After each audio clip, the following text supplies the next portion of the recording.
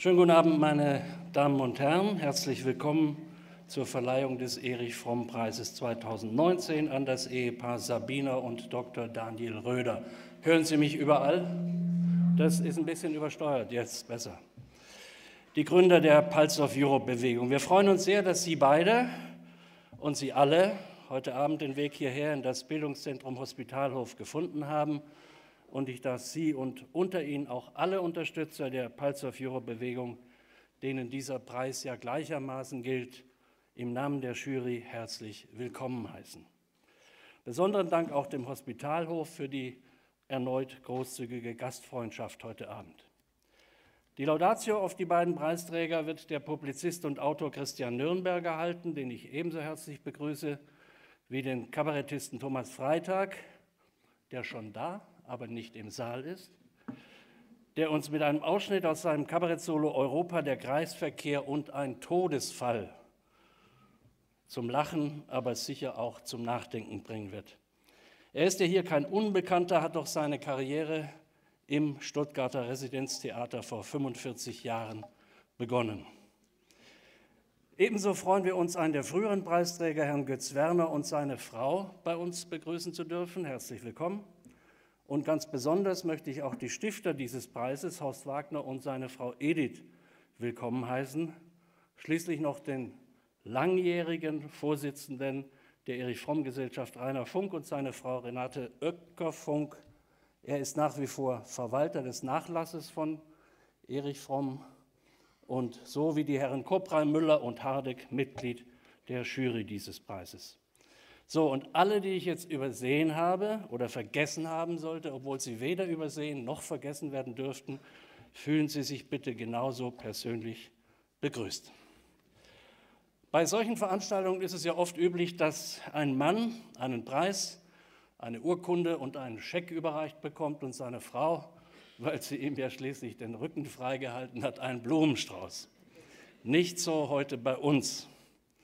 Denn Pulse of Europe ist eine Idee von Sabine und Daniel Röder, ist eine private Bürgerinitiative, die von beiden ins Leben gerufen, von beiden repräsentiert und getragen wird.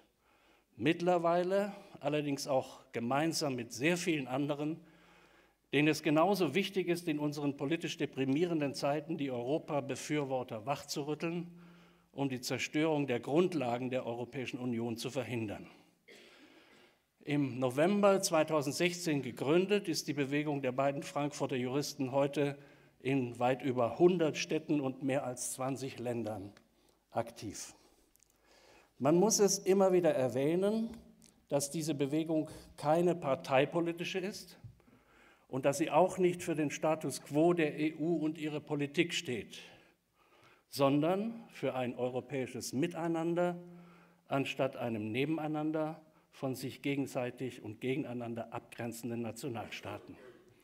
Inzwischen sind die beiden Gründer mit dem Bundesverdienstkreuz ausgezeichnet worden und die Bewegung selbst bekam schon diverse Preise. Warum also jetzt auch noch der Erich Fromm Preis?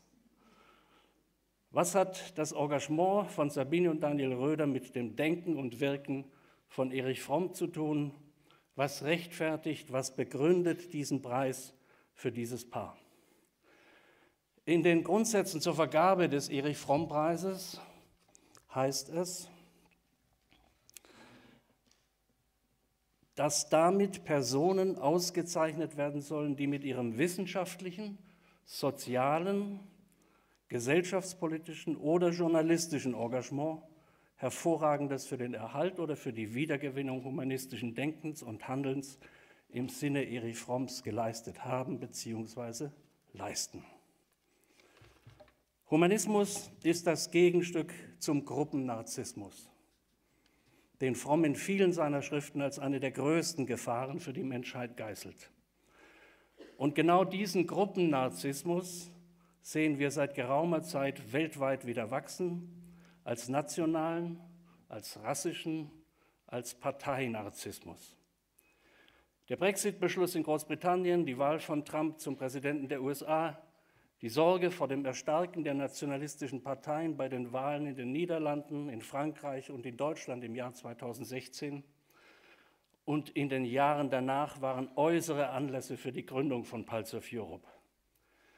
Gegen diese wachsende Intensität des Gruppennarzissmus, der die Welt schon einmal an den Rand des Abgrunds der totalen Vernichtung geführt hat, setzt die von Sabine und Daniel Röder initiierte Bewegung auf das Gegenteil, auf Empathie, auf Verständnis für den anderen, auf gegenseitigen Respekt, auf Toleranz, die Achtung der Menschenwürde und die Kraft der Solidarität. Oder wie Erich Fromm es in The Sane Society, Wege aus der kranken Gesellschaft 1955 als Vision beschrieben hat, ich zitiere, nachdem es den großen europäischen Revolutionen der 70er und 18. Jahrhunderts nicht gelungen war, die Freiheit von in eine Freiheit zu umzuwandeln, wurden der Nationalismus und die Verehrung des Staates zu den Symptomen einer Regression auf die inzestuöse Fixierung. Erst wenn es dem Menschen gelingt, seine Vernunft und seine Liebe weiterzuentwickeln, als es bisher gelungen ist, erst wenn er eine Welt aufbauen kann, die sich auf menschliche Solidarität und Gerechtigkeit gründet, erst wenn er sich im Erlebnis einer universalen Menschenliebe verwurzelt fühlt, wird er zu einer neuen Form menschlicher Verwurzelung hingefunden haben, wird er seine Welt in eine wahrhaft menschliche Heimat verwandelt haben. Zitat Ende.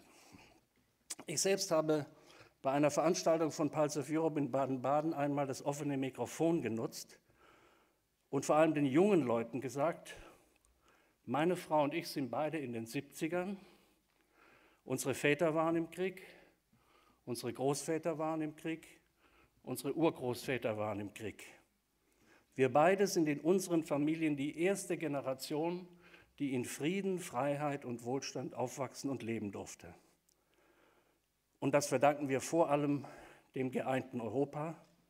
Und das wünschen wir auch unseren Kindern und unseren Enkeln. Mein Vater hat im Westen gekämpft, der Vater meiner Frau im Osten. Wir haben heute neben einer deutschen auch eine französische und eine polnische Schwiegertochter. Unsere Kinder und Enkel haben mehrere Pässe europäischer Länder und sind glückliche Europäer und wir möchten gerne, dass das so bleibt. Dafür den Impuls immer wieder auch von Pulse of Europe zu bekommen, sind wir dankbar. Und dafür haben Sabine und Daniel Röder den Erich Fromm Preis 2019 fraglos und zu Recht verdient. Diese Entscheidung hat die Jury, für die ich hier sprechen darf, übrigens einstimmig getroffen. Dass wir den beiden diese Auszeichnung zufällig und wahrscheinlich nicht ganz so zufällig in Anwesenheit seiner Eltern am 47. Geburtstag von Daniel Röder verleihen dürfen. Das finde ich besonders schön und deshalb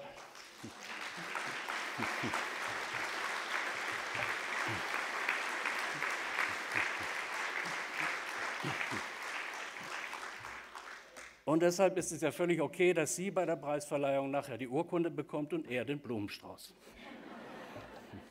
Herzlichen Glückwunsch Ihnen beiden.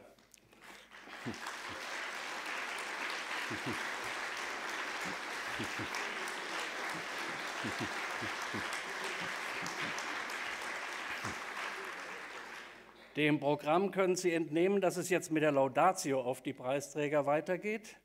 Sie hält uns der Publizist und Journalist Christian Nürnberger und ich finde es absolut lobenswert, dass er für diese Veranstaltung heute seinen Skiurlaub, den er gemeinsam mit seiner Frau in einem nicht-europäischen Ausland verbringt, nämlich der Schweiz, unterbrochen hat. Herr Nürnberger, bitteschön. schön.